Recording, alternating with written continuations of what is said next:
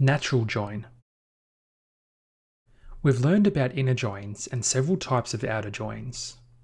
Another join type is called a natural join. A natural join is where two tables are joined on columns that have the same name. An inner join is performed, but there is less code required. With an inner join, you need to specify the columns to join on. With a natural join, though, you don't need to specify the columns. The syntax is to use the words natural join in place of join. It will join table 1 to table 2 on columns of the same name. It's helpful if your primary key and foreign keys have the same name.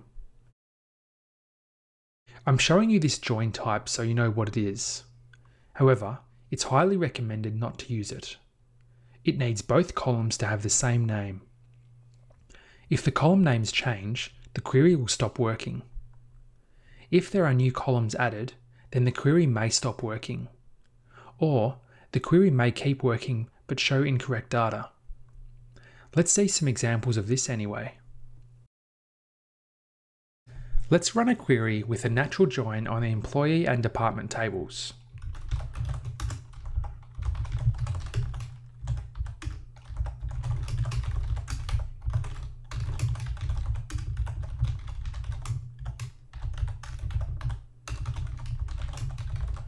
We have our column names with an alias.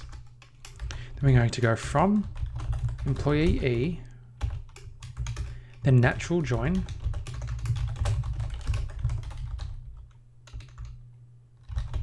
department D. Now let's run this query. You might get this error if we're using the natural join. It says column used in natural join cannot have a qualifier. On line 5, column 1. This means that because we're using a natural join, it joins on the department ID. So we can't have the table alias there or the qualifier next to department ID. Let's run the query again. You can see our results here. This works because the column names are the same. Now, let's try and join the product table to the department table.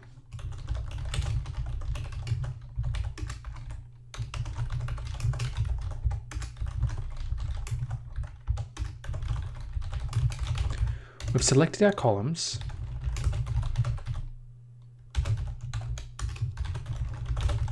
We have our first table and then natural join, and then natural join department. If we run this query, we can see our products and departments. This query also works because the column names are the same in both tables. So that's how you use a natural join. As mentioned earlier, I recommend not using them and having an inner join instead. It's a little more code, but it's much easier to maintain and will cause less issues in the future. Next, we'll take a look at a Cartesian join.